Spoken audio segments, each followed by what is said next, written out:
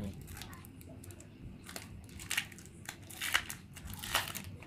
Tedong. Ini kan. Ujungnya di bawah, ujungnya di bawah. Oh. Ujungnya di bawah. Kayak gini. Hmm. Enak kan? Tangannya dong, kayak gini. Kalau enak mana? Oke, langsung saja ya sobat. Bagaimana cara pembuatannya? Oke, ini bahan-bahannya satu saset cocolatos bubuk ya. Banyak ditemukan di warung-warung terdekat. Oke. Selanjutnya ini ada kokolatos eh, yang model eh, wafer ya atau model dalamnya bolong itu namanya apa lupa lah ya terus ini ada juga tusuk sate seperlunya saja ya atau seperlunya saja. Selanjutnya ini ada air putih atau air minum ya. Oke kemudian nanti akan di blender siapkan blender juga. Dan ini tempatnya untuk bungkus nanti jangan dibuang ya soalnya buat cetakan. Oke langkah pertama yang perlu sobat siapkan adalah ambil gunting kemudian gunting kokolatos ini ya. Kemudian dalamnya dibuang diambil. Nah seperti ini.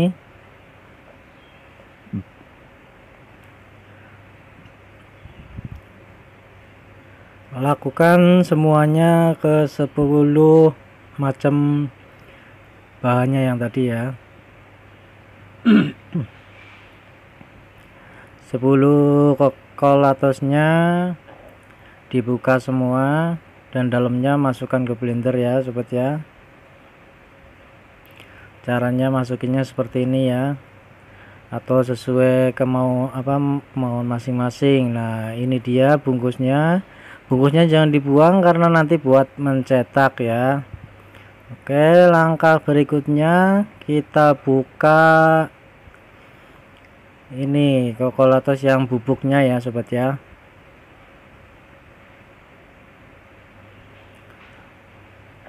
Oke dibuka. Nah kita masukkan semuanya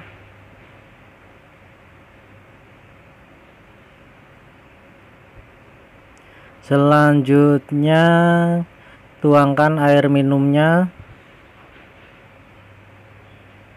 Air minumnya tuangkan semua ya sobat ya. Nah seperti ini. Selanjutnya siap untuk di blender.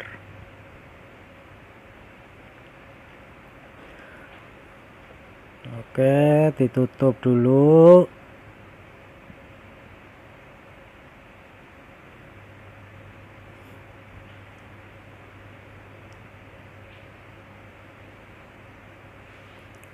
kemudian nyalakan blender sampai kokolatosnya halus ya hancur.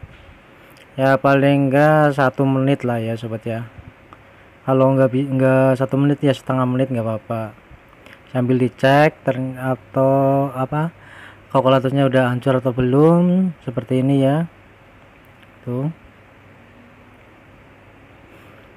Nah apabila sudah halus selanjutnya kita masukkan ke bungkus kokolatos tersebut ya.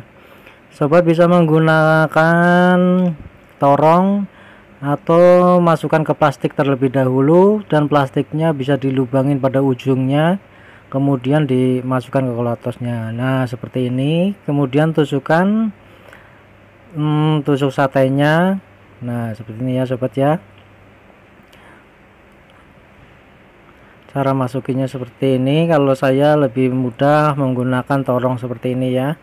Kalau nggak punya ya gimana caranya lah supaya bisa masuk. Pasti sobat lebih pintar cara memasukinya ya. Oke setelah sudah banyak seperti ini dimasukkan semua adonannya langkah selanjutnya yaitu kita masukkan ke freezer ya masukkan ke freezer dengan suhu yang paling dingin nggak apa-apa biar cepet jadi. Ini dia. Taruh mangkok dulu ya sobat. Nanti kalau sudah agak membeku kemudian disebarkan ke bagian freezernya biar dia cepat mengeras. Nah seperti ini ya. Oke apabila sudah mengeras siap untuk dihidangkan atau dikasih atau dibagi-bagi ke teman-teman tetangga-tetangga atau ke anak kita ya. Oke. Seperti ini jadinya. Coba kita buka gimana?